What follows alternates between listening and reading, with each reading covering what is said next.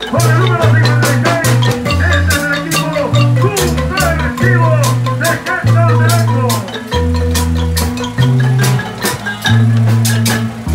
saludo muy especial para todos ustedes en esta etapa número 3 de la Vuelta a Guatemala.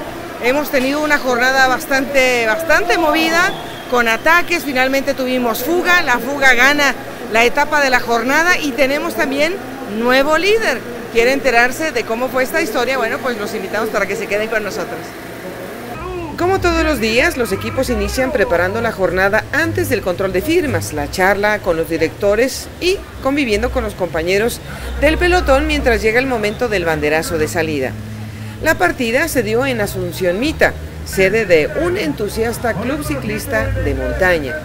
Asunción en honor a la santa patrona del pueblo y Mita del náhuatl que significa donde hay huesos humanos.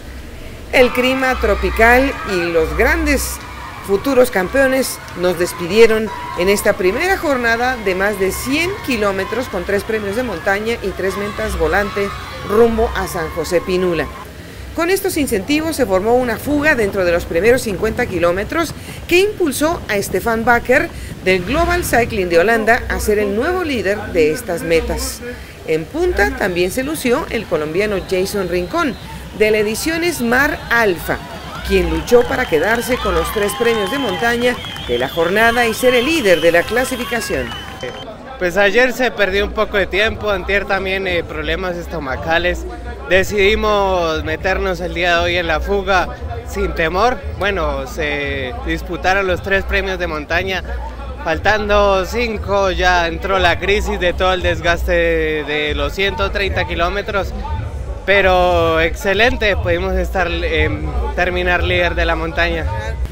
Un grupo de nueve corredores saltó desde el lote principal donde el equipo de Corabaños mandó a dos fichas, a Escobar y a Jack, mientras que Edgar Torres se unió para defender los colores del Hino Juan Larred.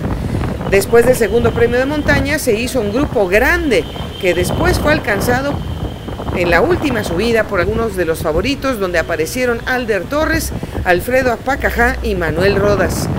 El duelo por la victoria fue solo entre dos en el descenso a San José Pinula. El hondureño Luis López del Ópticas Deluxe ganó con un lanzamiento de manillar al líder sub-23 Edgar Torres.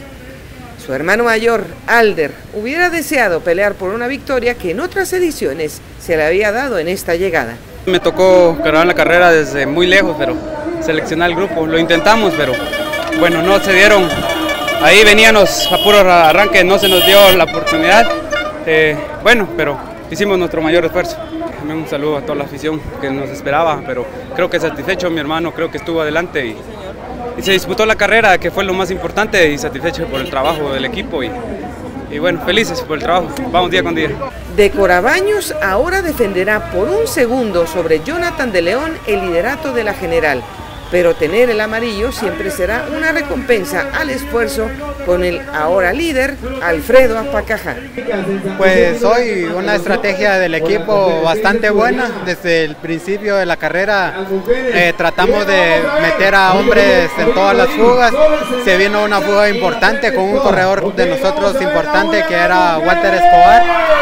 Él venía bastante bien, tenía eh, una mínima diferencia respecto al líder Sabíamos que él tiene las condiciones para llegar, pero lastimosamente un desperfecto mecánico lo dejó de la fuga. Nunca nos imaginamos que se iba a quedar así.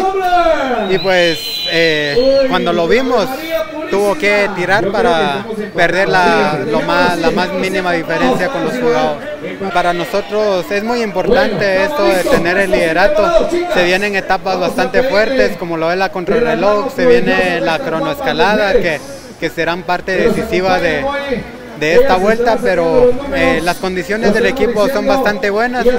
La etapa 4 sale de Amatitlán hacia San José, el ídolo Suchitepec, con 121 kilómetros. Será una etapa de 3 metros volantes de por medio y donde seguramente volverán a brillar los más veloces.